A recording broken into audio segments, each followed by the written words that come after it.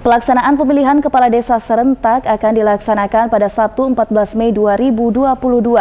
Namun ada empat desa di Merangin yang batal melaksanakan pemilihan kepala desa serentak. Sabtu 14 Mei 2022, sebagian besar desa yang ada di Kabupaten Merangin akan melaksanakan pemilihan kepala desa serentak, di mana dari 205 desa di Merangin seharusnya 176 desa melaksanakan pilkada serentak. Namun empat desa di Merangin batal melaksanakan pilkada serentak sehingga pilkada serentak ini menjadi diikuti 172 desa. Adapun desa yang batal melaksanakan pilkada serentak yakni Desa Tuo Kecamatan Lembah Masurai, Desa Sektu Kecamatan Tabir Ulu, Desa Sungai Tabir Kecamatan Tabir Barat, dan Desa Simpang Limbur Kecamatan Pamenang Barat.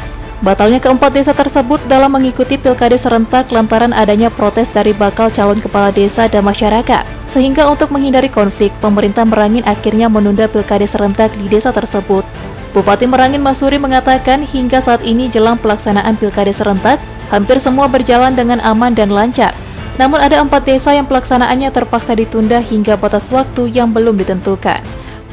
Desa kita sudah mengeluarkan surat penundaan ya Pak desa tersebut itu kita tunda sampai waktu yang tidak ditentukan sampai pemadam kepastian waktu kapan penundaan tentu kita uh, melihat kondisi desa dulu sudah terjadi netral atau belum ya. Riko Saputra, Cek TV, melaporkan.